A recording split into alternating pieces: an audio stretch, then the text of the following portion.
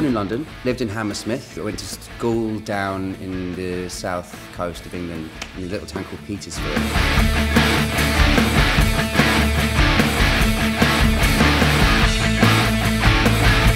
It was cool, you know. I, you know, I, I sort of, I had the best of both worlds, I suppose. You have the sort of quiet, simple life, as well as, uh, as well as the mayhem that was London. I used to play in a band as well when I was 15. So we used to play there, and that club night didn't even start till 11:30. Which you know, 16, 15, you know, you go, crikey, you know, 11:30. That's that's so late. Actually, I say that more now as well. I'm normally in bed by nine o'clock. To be fair, um, yeah.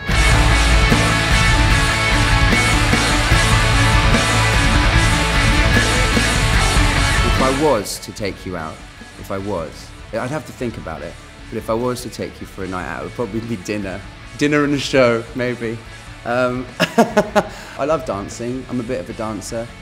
Um, I actually ended up dancing with somebody's mum in a tiny little country pub the other day. Am I a bad guy or a good guy? I have a light side and a dark side. I, since I since I saw since I saw you guys last. I got my fingers tattooed. So on my left side I have my dark side and on my light side I have on my right side is my light side. Depends on the day really. Today I'm feeling a bit like a good guy. Sexiest co-star I've ever had is Ian McKellen.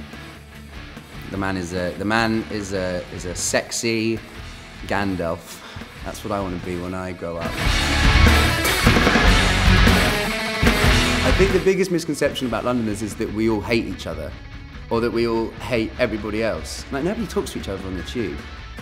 My favourite game was to try and get everyone to start talking to each other or freak people out as much as possible, and then get people laughing. It's just breaking down that barrier first of all. It's not that we all hate each other; it's just that we're all afraid to talk to each other because we think we all hate each other. It's sort of a self-fulfilling prophecy. It doesn't really make any sense. We're just all very confused, and we just, you know want to be loved, really. That's what we want. All Londoners want to be loved. All of us.